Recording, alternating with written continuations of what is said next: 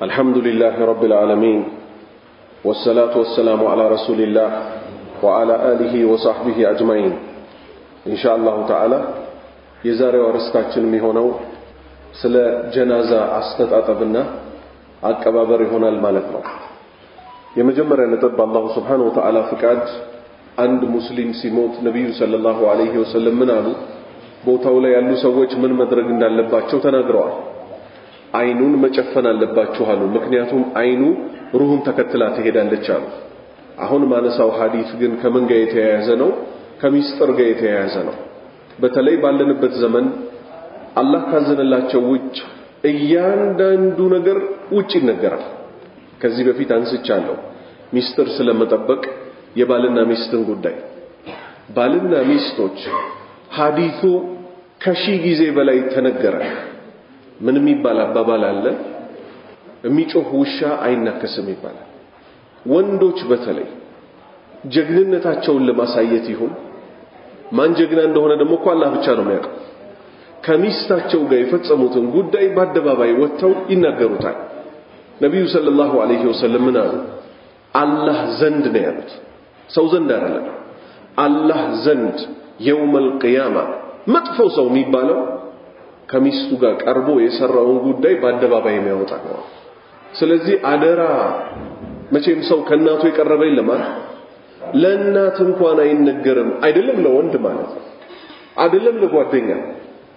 ልክ እንደዚህ ሰው ከሞተ በኋላ ብዙ የተለያዩ ጉዳዮች ይመጣሉ። ምንን ይመስል ሰውየው ደሙ ላይ ቆም ይችላል፣ የመሳሰሉት ነገሮች። ጀናዛ ማጠብ ያለበት ሰው ሚስጥር ጠባቂ ነው። ይሄን የተናገሩት ማናቸው? ነቢዩ ሰለላሁ ዐለይሂ ወሰለም ናቸው።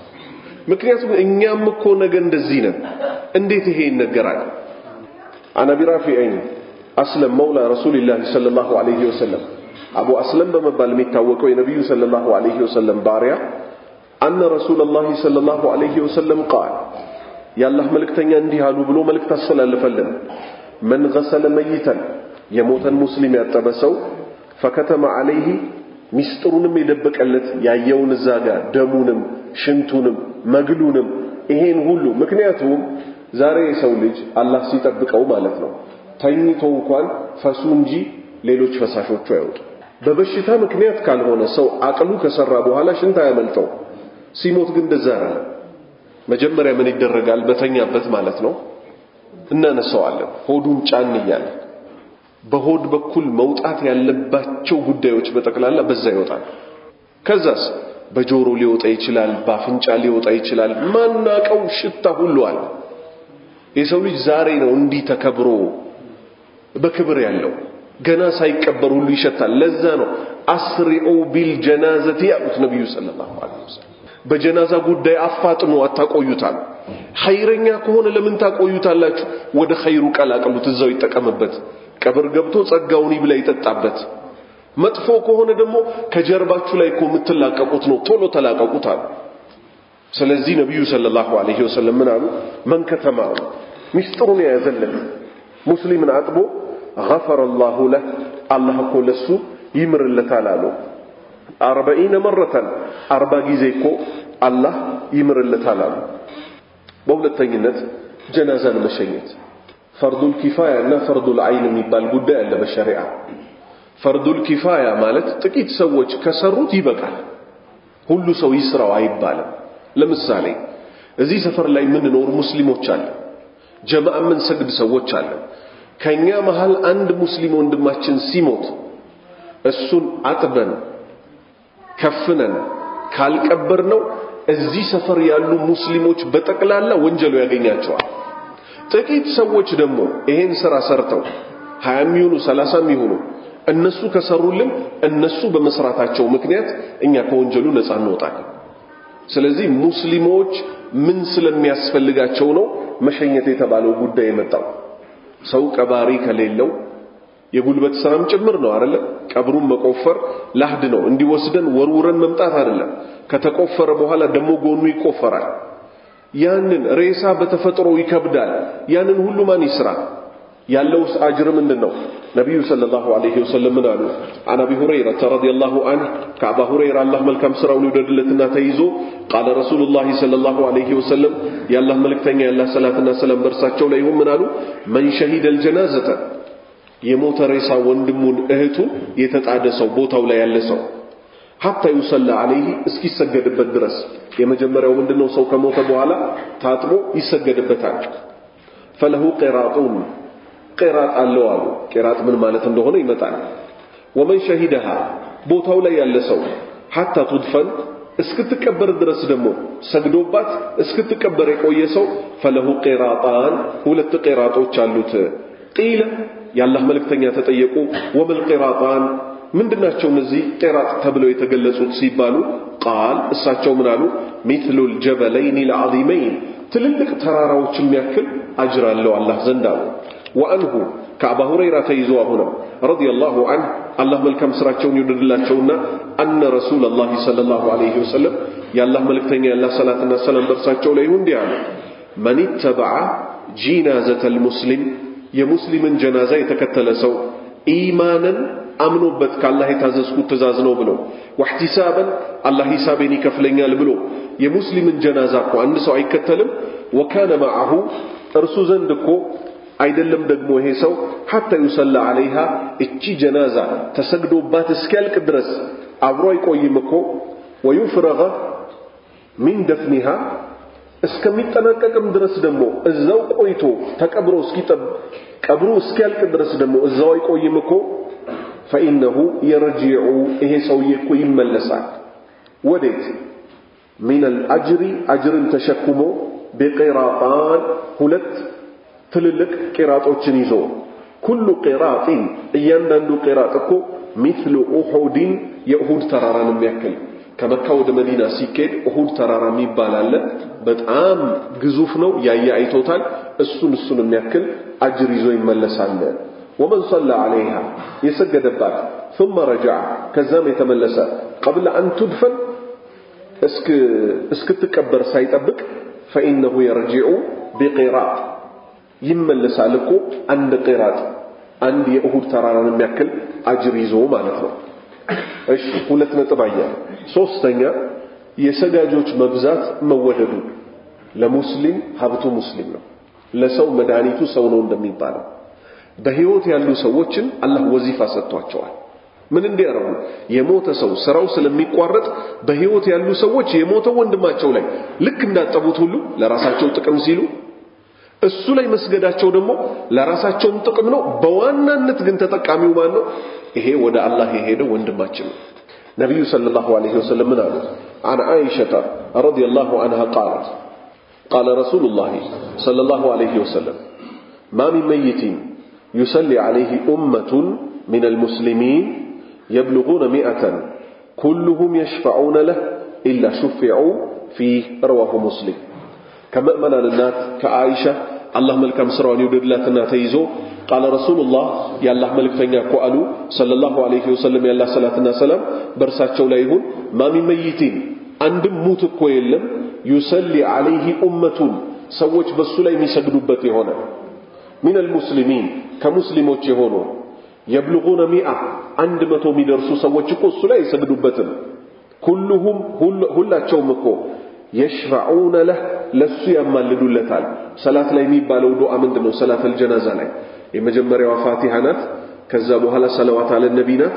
ከሱ ቀጥሎስ አላሁመ እግፊር ለሁ አላህ ሆይ ማረው፣ ወርሐምሁ እዘንለት፣ ወወሲዕ ሙድኸለሁ መግቢያውንም አስፋለት ጠባብ ነውና ይሄን አላሁ ስብሓነሁ ወተዓላ ኢላ ሹፊዑ ፊህ በምልጃቸው ጉዳይ ላይ አላህ ምልጃቸውን ተቀብሎ ቢያማልዳቸው እንጂ። ስለዚህ የሰጋጆች ቁጥር መብዛትም እንደዚሁ ይጠበቃል። ሌላኛ ሐዲት وعن ابن عباس رضي الله عنهما قال سمعت رسول الله صلى الله عليه وسلم يقول ما من رجل مسلم يموت فيقوم على جنازته أربعون رجلا لا يشركون بالله شيئا إلا شفعهم الله فيه رواه مسلم ከአብደላህ ብን አባስ ተይዞ አላህ መልካም ስራቸውን ይውደድላቸውና ሰሚዕቱ አሉ ሰማሁኝ እኮ ረሱላላህ የአላህ መልእክተኛ ሰማዋቸው ሰለላሁ ዐለይሂ ወሰለም ያላህ ሰላትና ሰላም በእርሳቸው ላይ ይሁን የቁል ሲሉ ማ ሚን ረጁሊን ሙስሊሚን አንድም ሙስሊም ግለሰብ እኮ የለም። ይሄ የመጀመሪያው መስፈርት ነው። ሰውየው ራሱ ሙስሊም ሆኖ መሞት አለበት። የሙት አይሞትም እኮ ፈየቁሙ ዐላ ጂናዘቲሂ የሱ ሙስሊም ሆኖ የሞተው ወንድም ወይ እህታችን ጀናዛ ላይ እኮ ሰዎች አይቆሙም። ስንት የሆኑ አርባዑነ ረጁለን አርባ ወንዶች እኮ እሱ ላይ ሊሰግዱበት አይቆሙ። ትልቁ መስፈርት ግን ምንድነው? ላ ዩሽሪኩነ ቢላሂ ሸይአ በአላህ ላይ ምንንም ያላጋሩ። የቅድሞቹ መቶ ነበሩ አይደለ? ሚሊዮንም ቢደርሱ ዋጋ የለውም እነሱ የተውሂድ ሰዎች ካልሆኑ። ምክንያቱም አላህ ዘንድ ዋጋ የለውም። የመጀመሪያውን ሐዲስ ካስታወሳችሁ ማ ሚን መይቲን አንድም ሙት እኮ የለም ዩሰሊ ዐለይሂ ኡመቱን ህዝቦች እኮ በሱ ላይ አይሰግዱበትም። ሚሊዮን ቢሊዮን ሊደርሱ ይችላሉ። ሚን ሙስሊሚን ሙስሊም የሆኑ ሰዎች ተብሎ ሸርጡ ተቀመጡ። ለዛ ነው ከዓመት እስከ ዓመት ስለ ተውሂድ እንጂ ስለሌላ ርዕስ ይወራ ከአላህ ውጭ ያልከሶ ሼክ እንዲያረጉኛል የአብሬት ሼክ እንዲያረጉኛል ሚል ሰው በሚሊዮን የሚቆጠር ቢሰበሰብ ባንተ ላይ ዋጋ የለውም። አርባ የሚሆኑ በአላህ ላይ ማያጋሩ ሰዎች ግን ይጠቅመዋል። ለምን? ይኸው ነቢዩ ሰለላሁ ዐለይሂ ወሰለም ምን አሉ? ማ ሚን ረጁሊ ሙስሊሚን አንድ ግለሰብ እኮ ሙስሊም አይሆንም የሙት ሙስሊም ሆኖም አይሞትም። ወላ ተሙቱነ ኢላ ወአንቱም ሙስሊሙን ሙስሊሞች ሆናችሁ ቢሆን እንጂ እንዳትሞቱ። ፈየቁሙ ዐላ ጂናዘቲሂ በሱ ጀናዛ ላይ እኮ ሰዎች አይቆሙም። አርባዑን አርባ ብቻ አርባ ብቻ ረጁለን ወንዶች ላ ዩሽሪኩነ ቢላሂ ሸይአ በአላህ ላይ ምንም የማያጋሩ ኢላ ሸፈዐሁም ላሁ ፊ አላህ ምልጃቸውን ቢቀበለው እንጂ።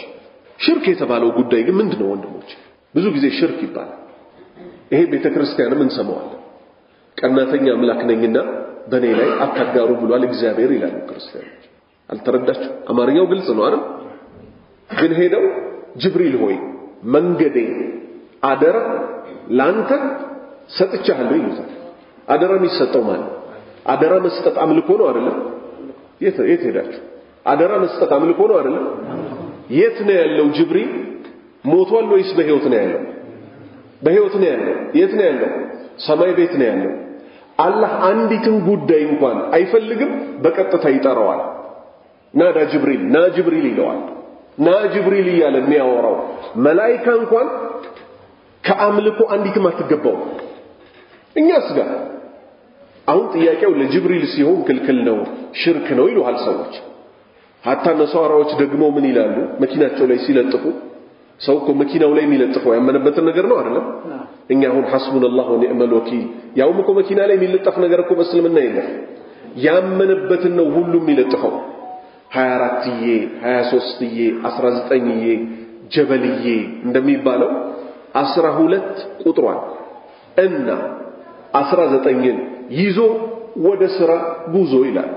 እኛስ ቢስሚላህ ተወከልቱ አለላህ ወላ ሐውለ ወላ ቁወተ ኢላ ቢላህ። ይሄ ትልቁ ተውሂድ ነው። ቢስሚላህ በአላህ ስም ተወከልቱ ተመካሁ አለላህ ሊመኩበት የሚገባው ብቸኛው ፈጣሪ እሱ ነው። በሱ ላይ ተመካሁ። ወላ ሐውለ ጥበብ እኮ የለም፣ ብልሃት የለም፣ ወላ ቁዋ ኃይልም እኮ የለም ኢላ ቢላህ በአላህ ቢሆን እንጂ ብለን ከቤት ስንወጣ ነቢዩ ሰለላሁ ዐለይሂ ወሰለም ምን አሉ? ሸይጧን ለሌላኛው ሸይጧን እንዲህ ሲል ይነግረዋል አሉ። ምን አለህና ተመለስ ዛሬ ይለዋል። ይሄ ሰው እኮ ባላህ ተጠብቋል፣ ወደ እሱም ጉዳዩን አስጠግቷል። ምን አለንና ብለው ጥለውት ይሄዳሉ ዛሬ እንፈተሽ እስቲኛ ጫት መቃም ላይ የሚነሳው ስንት ጉዳል የሆነች ነገር ሸርተት ስታደርጋቸው ጀይላን የሚሉ ሰዎች አሉ። አንዋር መስጂድ አንዋር መስጂድ አሁን ነው እንጂ ይሄ እንዳያንሸራትት ሸራ ምናምን ሲደረገበት ውዱ ቦታው ላይ ጉዳጉድ ትሰማለህ። ውሃው ሸርተት ሲያደርጋቸው ጀይላኔ የሚሉ ሰዎች አሉ አለ። ይኸው father መሰከሩልኝ። አብዱል ቃድር ጀይላኒ አሁን የውላችሁ እኮ የተውሂድ ጉዳይ ከባድ ጉዳይ ነው። አሁን ሰው ተጨንቋል አልተጨነቀም? ምን አይነት ጭንቀት በሉኝ። ምንድን ነው የሚውጠን የሚል ጭንቀት ውስጥ ወድቀናል አልወደቀም? ዶላር ዝርዝሮ የማያውቀውም ድሃ ስለ ዶላር rate ይጠይቃል። ዶላር ስንት ገባ ይላል። ኪራይ ቤት ውስጥ ያለው ሰውዬ ሲሚንቶ ስንት ገባ ይላል። ተጨንቅራለ ተጨነቀ ቤት ላይ ይሰራል። ወይ ቤት ጋሻ አህመድ ከዘመዱ ቤት ማይሰራ ሰው ሊኖር ይችላል። ቆይ በአላህ ላይ ያለን ተስፋ የት ሄደ?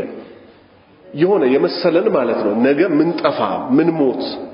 በጭንቀት አበድን አላበድን ሊያሳብድ ሊያስጨንቅ በሚገባው ጉዳይ አይደለም እኛ እየተጨነቅን ያለው። ሐቂቀት ነቢዩ ሰለላሁ ዐለይሂ ወሰለም እንደሳቸው የተራበም አልነበረም የተጠማም አልነበረም።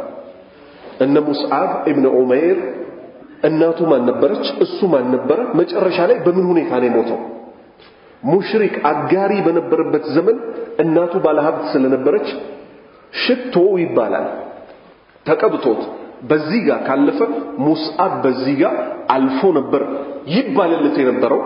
እስልምናን ተቀበለ። ተመለስ አለበለዚያ ስሰጥህ የነበረውን ጠቅላላ አቆማለሁ አለችው።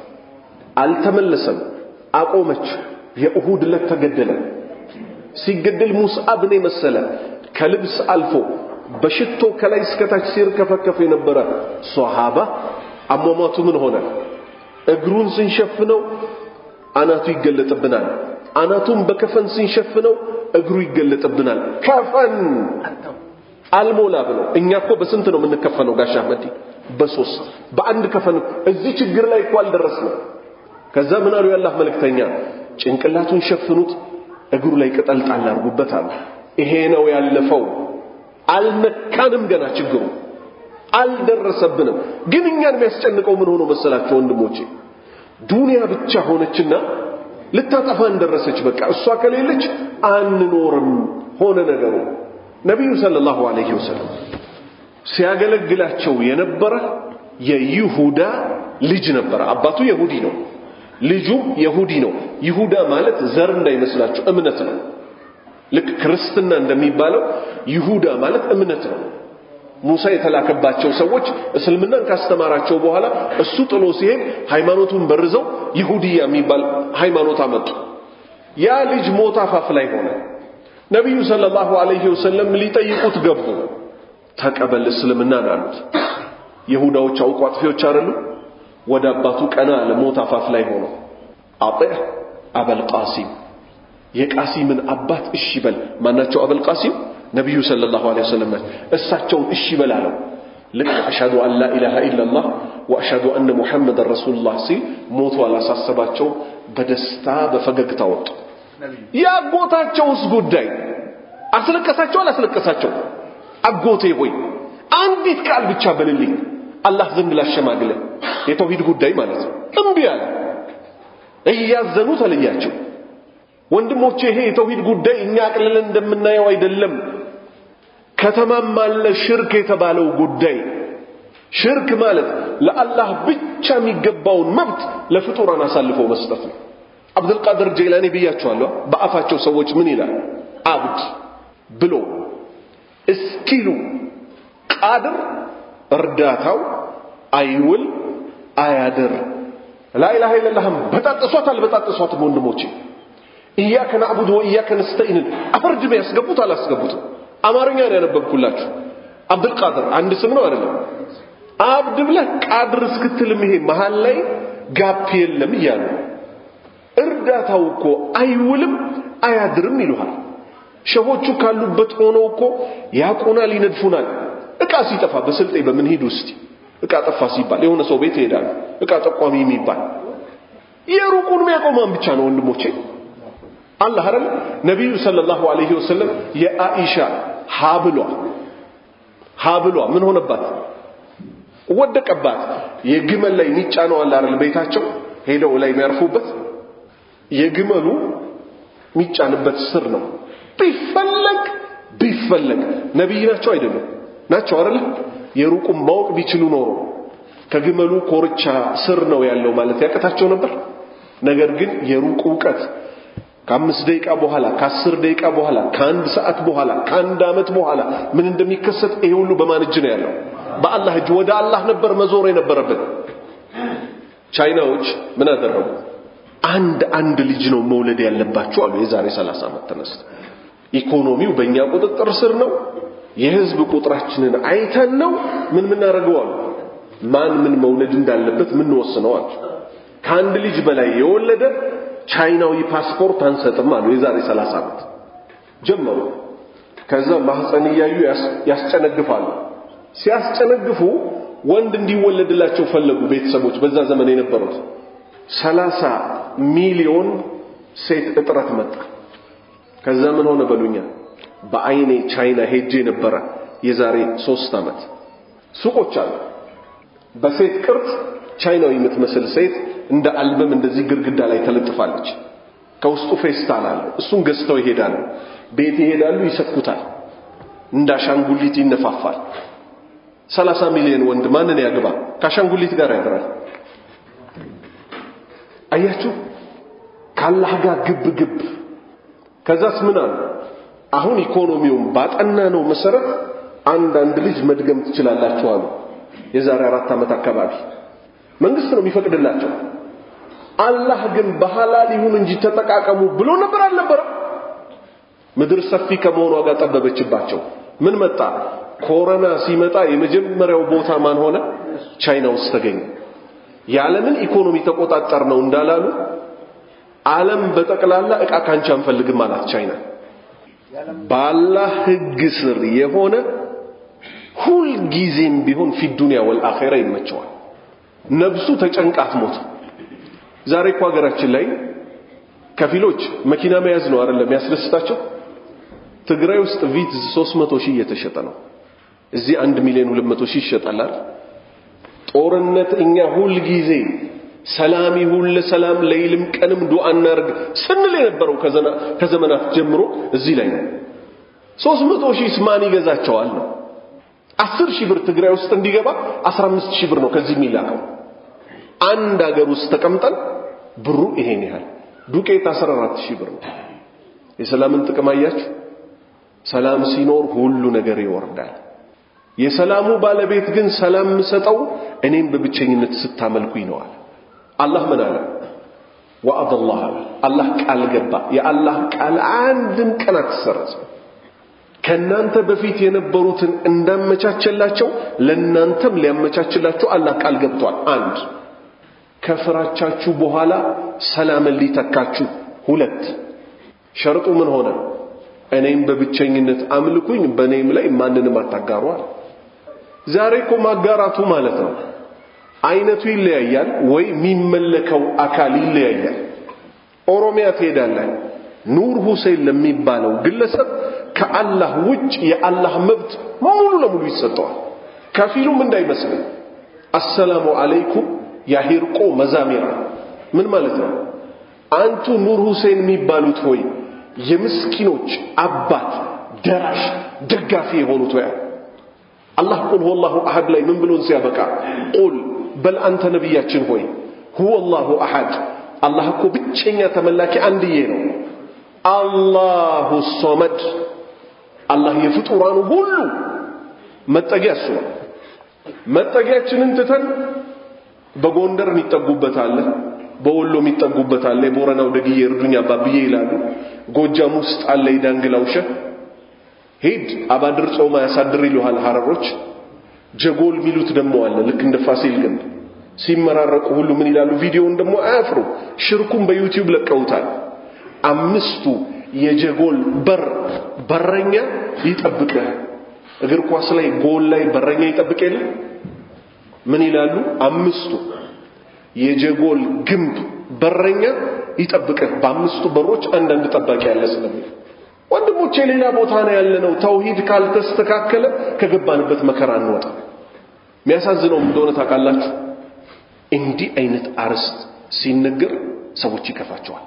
እንዲህ አይነቱን አርስት ሙስሊም የመሆናችን ከሃዲ የመሆናችን ጀነት የመግቢያችን እሳት የመግቢያችን አርስት ሲነገር ሰዎች መስማት አይፈልጉም ተነስተው ይወጣሉ።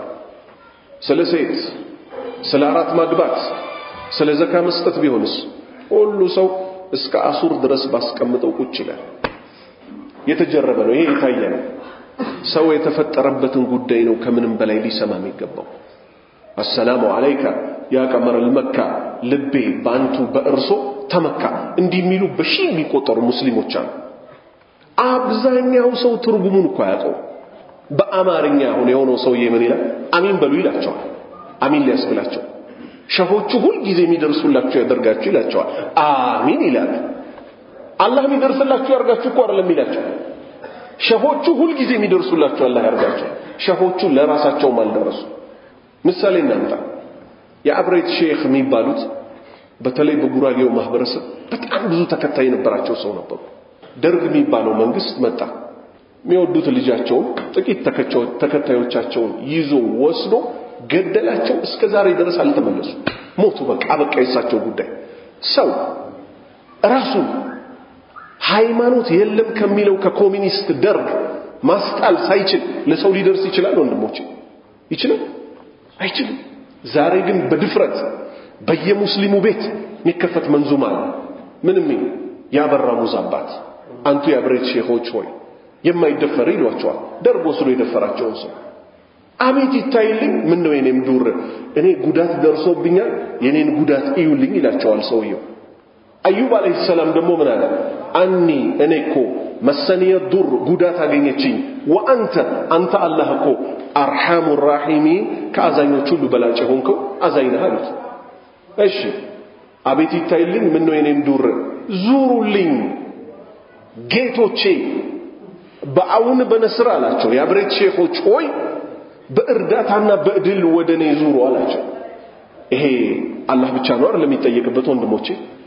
ከእጃችሁ ከጅዬ ቆም ያለው ከብር ሀጃዬ አውጡልኝ። በዛሂር ሰው እያያችሁ ማለት ነው። በሲር ደግሞ ማለት በሚስጥር ሰው ሳያያችሁ ሀጃዬን አውጡልኝ አላቸው። ከዚህ ነገር ካልጸዳን አንድ ሺህ ሰው አንድ ሚሊዮን ሰው ስቴዲየም ውስጥ ያለ ሰው በጠቅላላ ተሰብስቦ ቢሰግድብን አላህ ሸፋአህን አይቀበልም። ሰላተል ጀናዛ ማለት ምልጃ ነው አይደለም ወንድሞቼ? እኛ በህይወት ያለን ሰዎች እኮ ለሞተ ወንድማችን ልናማልድ ነው። አንደኛ እኛንን ሙስሊም ሆነን መሞት ያለብን ይኸው ሐዲሱ ግልጽ አረገ።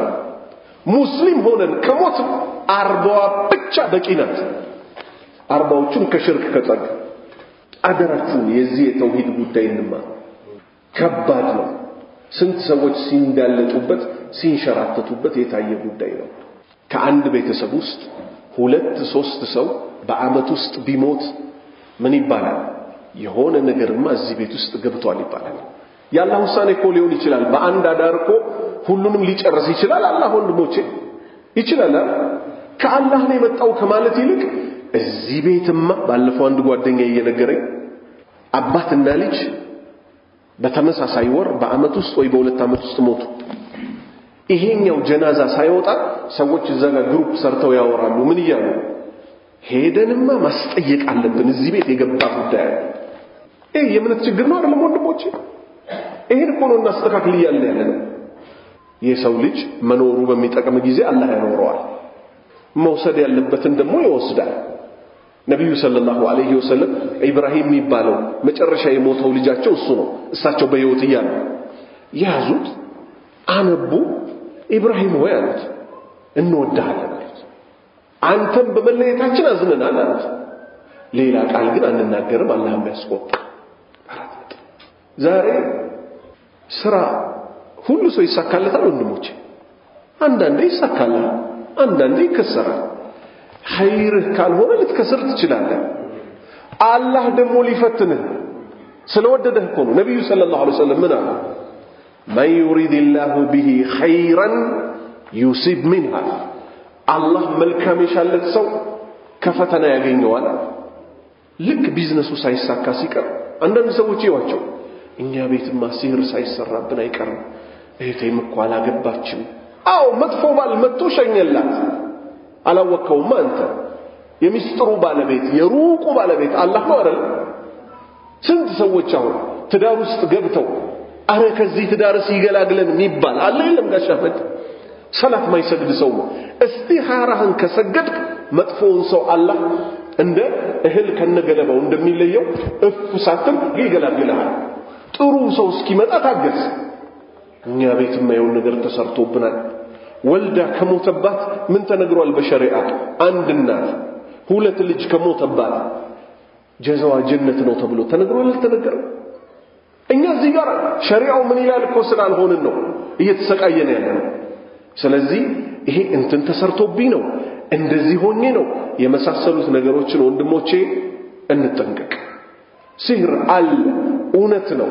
አይንም አለ፣ እውነት ነው። ይሄን መካድ አይደለም። የሆኑ ነገሮች ግን በሆኑብን ቁጥር ምን ተደርጎብኝ ይሆን? አሁን እኮ ሰዎች ልንገራችሁ፣ የሆነ አር ለምሳሌ የሰው በር ላይ ተለቅልቆ ቢታይ ይሄን ያንዱ ሰካራም ሌሊት ግራ ገብቶት የሰው በር ላይ ለቅልቆት ሄዶ ሊሆን ይችላል ሲንገዳገድ ጠዋት ሲወጡ በቃ ተሰርቶብናል። እሺ ማፍረሻው ሩቃ ነው አይደለም? ማፍረሻው ቁርአን ነው አይደለም? ሰዎች ወዴት እንደሚሄዱ ታውቃላችሁ? አዋቂ ቤት ይሉሃል። አዲስ አበባ ተቀምጠው ሐዲት ቁርአን እየተነገረ አንድ ወልይ ያሉ ይሉሃል። ጀማዓም ጁማዓም አናቃቸውም። እኚህን ሰውዬ እኛ አዲስ አበባ ተወልደን ያደግነው ሰዎች እዚህ ፓስተር አካባቢ የሆነ ሰው ተቀምጧል አሉ። እኔ ዱዓ አርግላችኋለሁ ሚል ሳባ መስጂድ ወጥቶ ጁምዓም አይሰግድም፣ ጀማዓም አይሰግድም። ባል ከነ ሚስት ምናምን እዛ የሚገቡበት ቤት አለ። እንዲህ አይነት አቂዳቸው የተበላሹ ሰዎች አሉ። ስለዚህ በእንዲህ አይነት መንገድ የሚሞቱት ሰዎች ነው ከምንም በላይ ሊያሳዝኑ የሚገባው። ከምንም በላይ ሊያሳስበን የሚገባው እቺ የሞተችው ልባችን እንጂ ትንሽ ወደ ኋላ በታሪክ ልውሰዳችሁ። በሸሪዓ ታሪክንም ማወቅ ግድ ስለሆነ ዩሱፍ አለይሂ ሰላም ካስታወሳችሁ ቃለ ረቢ አሲጅኑ አሐቡ ኢለየ ሚማ የድዑነኒ። ትርጉሙ ምን ማለት ነው? ሰው እስር ቤት ይመኛል ወንድሞቼ። የሴቶቹ ፈተና ከአቅሙ በላይ ሲሆንበት ያቺም እቺም ሴት ና ከኔ ጋር መጥፎ ነገር ስራ ሲሉት እሱ ምን አለ? ረቢ ጌታዬ ሆይ አሲጅን እስር ቤት እኮ አሐቡ ኢለይ እኔ ዘንድ የተወደደ ነው፣ እስር ቤት አስገባኛል። አሁን በዚህ ዘመን ባለንበት የኢኮኖሚው አካሄድ ያስፈራ ነበር አልነበረም?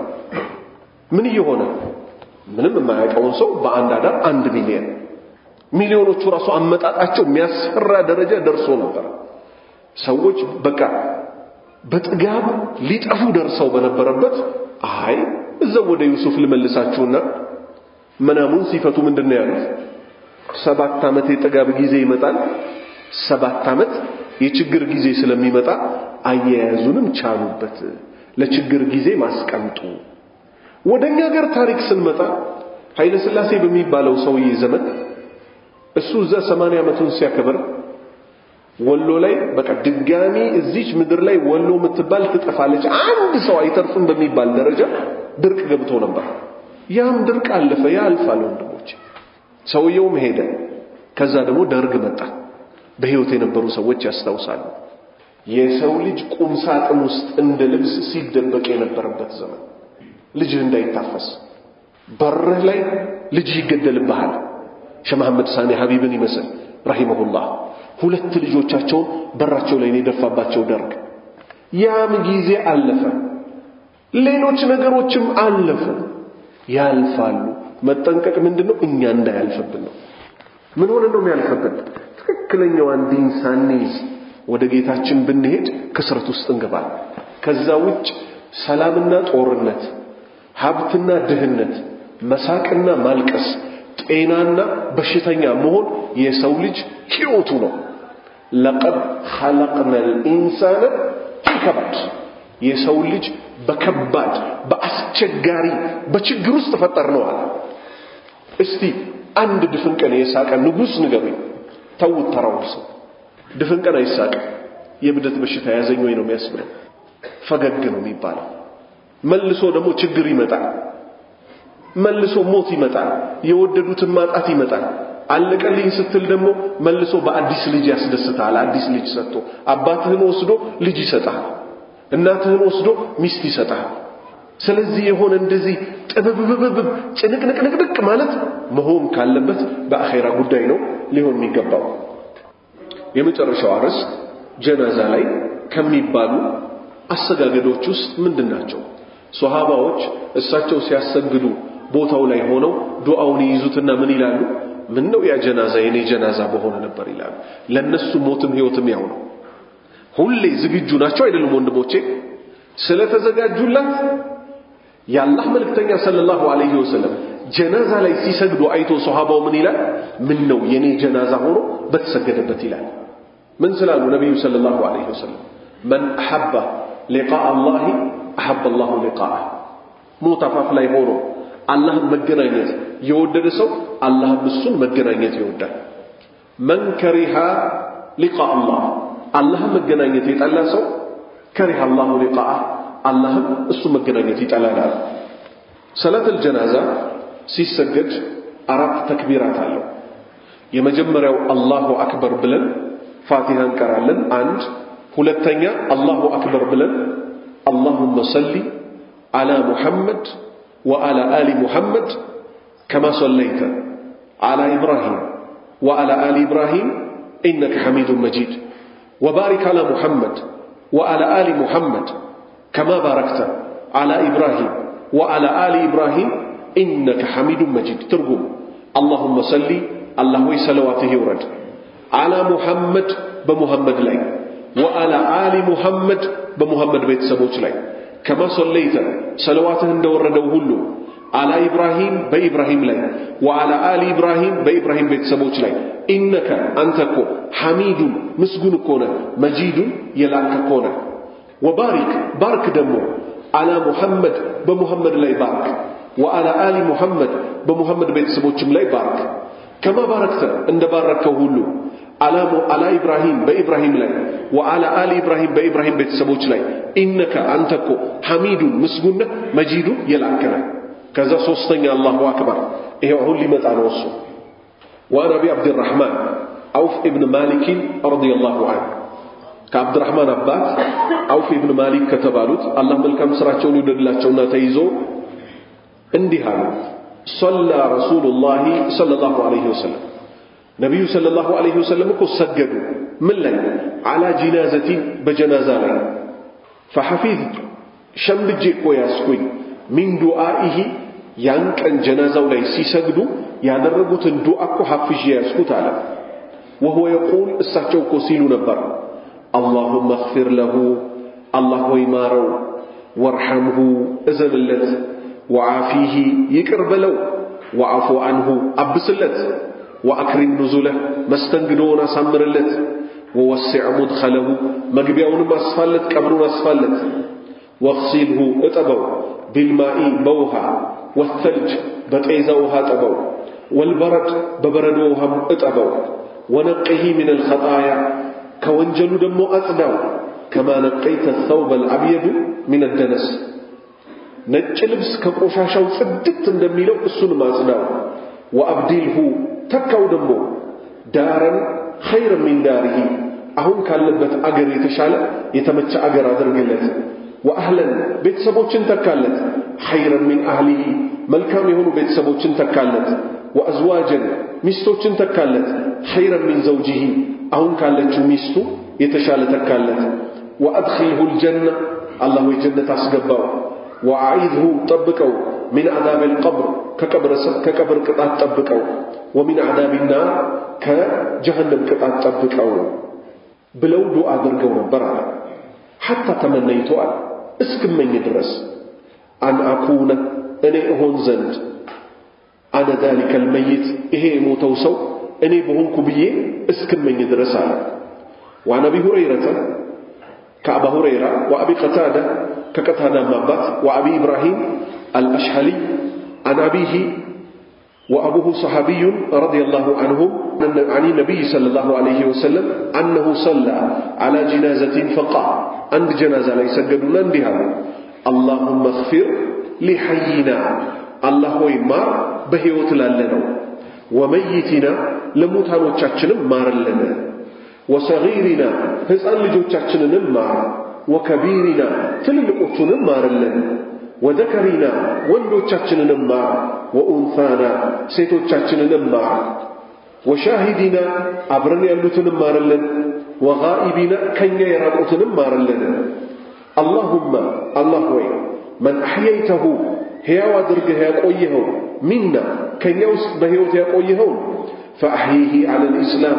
በእስልምና ላይ ሕይወት እንዳለው እንዲኖር አድርገው። ወመን ተወፈይተሁ የገደልከውን ደግሞ ሚና ከእኛ ውስጥ ፈተወፈሁ ዐለ ልኢማን በእምነት ላይ ግደለው። አላሁመ አላህ ወይ ላ ተሕሪምና አጅረህ አሁን የሰገድንበትን የዚህ ወንድማችንን የለፋንበትን አጅሩን አትከልክለን። አጅር ከፋዩ እሱ አይደለም? አጅሩን አትከልክለን። ወላ ተፍቲና ባዕደሁ እሱ ከሞተ በኋላ ደግሞ አትፈትነን። ይሄ ሰው መልካም ሰው ሊሆን ይችላል። አንድ መልካም ሰው በመሄዱ የእሱም መልካም ቦታ ላይሞላ ይችላል። እንዲሁ በቀላሉ አደራህን አላህ ሆይ ከእሱ ሞት በኋላ ፈተና ደግሞ እንዳታነባበርብን ኢንሻ አላሁ ተዓላ እንዲህ እያልን እየተማማርን እንቀጥላለን። እስልምና ሙሉ ህይወት መሆኑ ይታወቅ። ዛሬ ሰዎች የሆነ ነገር ክልክል ነው ሲባል ለምንድን ነው የተከለከለው ይላሉ። ይጠየቃል እንዴ ለምንድን ነው የተከለከለው ተብሎ እስልምና አያውቀውም መባሉ ብቻ ሰርጎ ገብ ነው መባሉ ብቻ በቂ ነው አይደለም ወንድሞቼ? ምክንያቱም እስልምና ማለት ቁል በላቸው አንተ ነቢያችን ሆይ ኢነ ሶላቲ ስግደቴ ስግደት ብቻ አይደለም እስልምና ወኑሱኪ እርዴም ጭምር ወመሕያየ እንድታሰምሩልኝ የሚፈልገው እቺ ነው። ህይወቴ በጠቅላላ መስጂድ ውጭ ከመስጂዱ መስጂድ ውስጥ ከመስጂድ ውጭ ቤት ውስጥ ከቤት ውጭ ዛሬ እኮ የቤት ውስጥ አኗኗራችን እኮ ያስደነግጣል። ውጭ ሲታይ በጣም መልካም ሰው። ሽምግልና ላይ ስትቀመጥ ሚስቱን እኮ አፍንጫውን ነክሷት ወይ በቦክስ ብሎ የላይኛውን አጥንት ሰብሮት ይባላል። እኮ ማን? በህልሙ ነው የሚያስብሉ ሰዎች አሉ የሉ? ወንድሞቼ አሉ የሉ? አሉ። ምን ሆነው ስትል እስልምና ህይወትህን ካልቀየረው ልትቀየር አትችልም ወንድሜ። ተማር። የሰው ልጅ መሰረቱ ወካነ ልኢንሳኑ ظሉመን ጀሁላ አላህ ነው ራሱ ያለ ኢና ዓረضና ልአማነተ አለ ሰማዋት ወልአርድ ወልጅባል አይደል ፈአበይነ እምቢያ አማና ሲሰጣቸው ይሄኛ የተሸከምነውን እስልምና ሲሰጣቸው ሰማይም ምድርም ተራራም እምቢያ የሰው ልጅ ግን ተቀበለው ወካነ ልኢንሳኑ የሰው ልጅ እኮ አዛሉመን በደለኛ ነው ጀሁላ መሀይም ነው።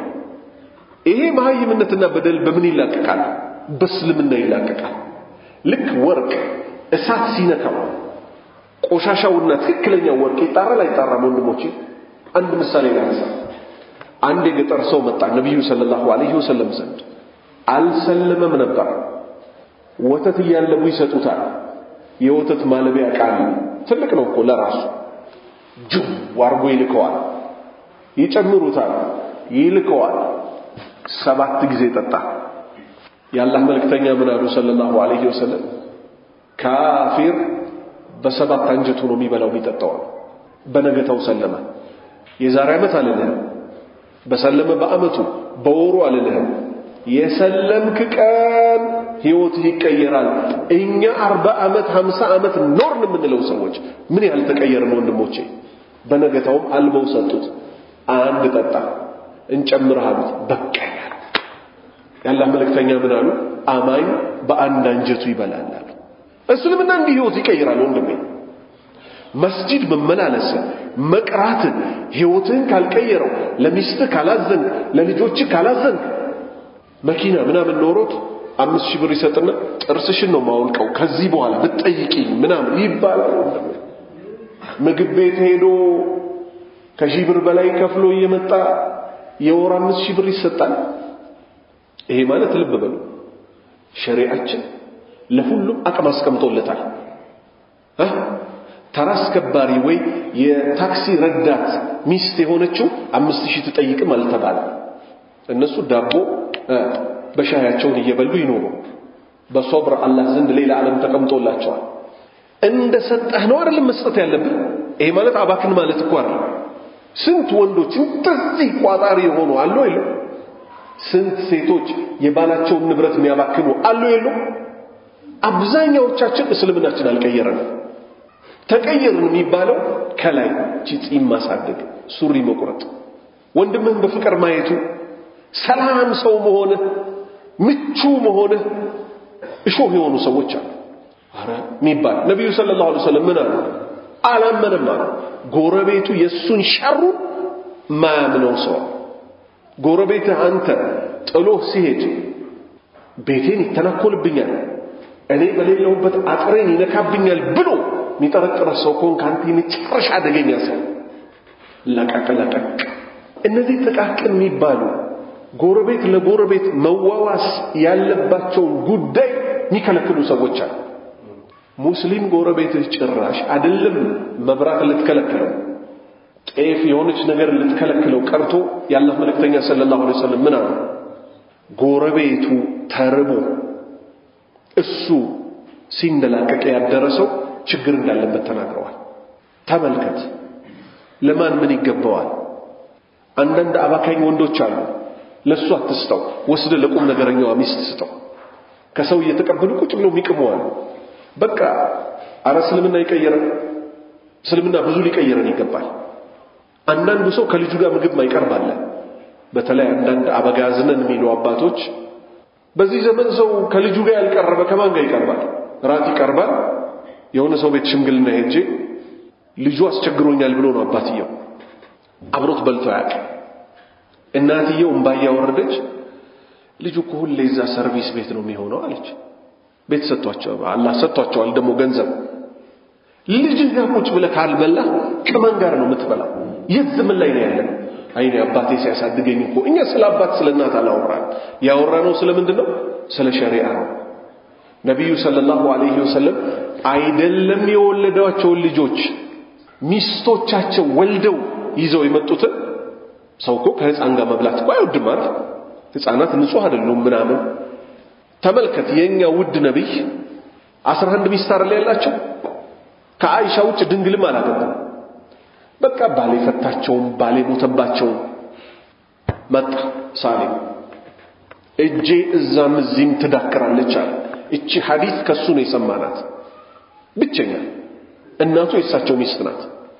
ያ ጉላም አሉኛ ልጄ ሆይ ሹፍ አጠራር ራሱ ከፊትህ ብላት አንድ በቀኝህ ብላት ሁለት አስተማሩት አላስተማሩትም ወንድሜ? ዛሬ አባትና ልጅ አብሮ ማይቀርቡበት በመጥፎ የሚተያዩበት ከዛ ምን አስተምርኸው ያንተ ወዳጅ ነው አንተ ሞተህስ ምኑን አስታውሶ ዱዓ ያደርግልህ? ስለዚህ እስልምና አሁንም ይቀይራል። አባቶች መሸነፍ አይደለም። ከልጅ ጋር አብሮ ማውራት ልጅ እኮ ሲያወሩት ነው የሚንቀው። ማን ያለው? ማን ደራሲዎች ሊሉ ይችላሉ። የኛ ሸሪዓ ግን ልጆቻችሁን የኔ ልጅ ሆይ የኔ ፍቅር ሆይ ከሚስትም ጋር ምን የሚባል እንዳለ ሚስት ለባሏ ምን ማለት እንዳለባት ይሄ ሁሉ ጉዳይ ተብራርቶ ጨርሷል አልጨረሰም ወንድሞች ፍቅር ያላየው ነገ ደግሞ እሱ ምን ሊል ነው? ልጅ ወልዶ። አንተ ስነ ስርዓት ለልጅ ፊት አይሰጥም ምናምን። ሹፉ ሌላ በዚች አቆማለሁ። አንድ የገጠር ሰው መጣ ነቢዩ ሰለላሁ ዐለይሂ ወሰለም ጋር ሐሰንን ሲስሙ ደረሰ አንተ ነቢይ ሆነ ልጅ ትስማለህ አላቸው። እኔ እኮ አስር ልጆች አሉኝ አስሩንም ስሜያቸው አላውቅም እሳቸው ምን አሉት? ይቺ እኮ እዝነት ናት አሉት። ሰው ልጁን ስለሚያዝን ነው የሚስመው የሚያቅፈው የሚያጥበው ዳይፐር የሚቀይረው። ዘመኑም ተቀይሯል። እንደ ድሮ ባላባት እንደዚህ አርጊ የሚባል ጨዋታ እንደሌለው ወቁ ወንዶች። ሰርተህ ነው ልጅህን አጥበህ ነው የልጅህን ጥፍር ቆርጠህ ነው በዚህ አንዱን ስታጠባ ቆይታ በዚህ ደግሞ ያኛውን ትይዝልኛለች ብለህ አትጠብቅ አንተን ያስረገዝከው። የኮንትሮባንድ አይደለም የኒካህ ነው። ስለዚህ አንተም ኃላፊነትህን ውሰድና አንዱን ልጅ ይዘህ ሽሩሩን ልመድበት። ሸሪዓ ነው። ከእናንተ ውስጥ ምርጡ ማለት ለቤቱ ምርጥ የሆነ ነው ብለዋል ነቢዩ ሰለላሁ ዐለይሂ ወሰለም።